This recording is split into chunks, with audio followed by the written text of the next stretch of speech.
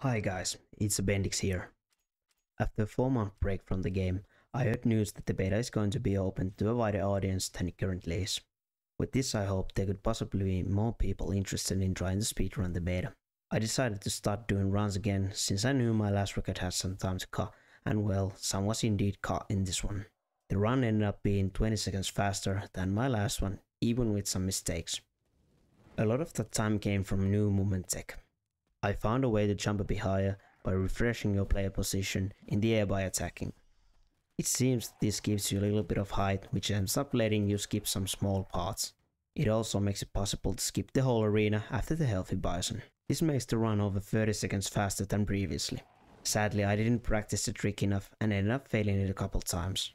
Without these fails the run could have been sub 26, but that time will most likely be achieved in the near future.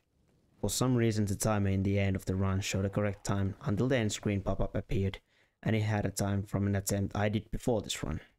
The run time ended up being 2609 by 0.06 seconds after rechecking it. I hope you are as excited to see some new strats and runs as I am and I hope you enjoy the rest of the run.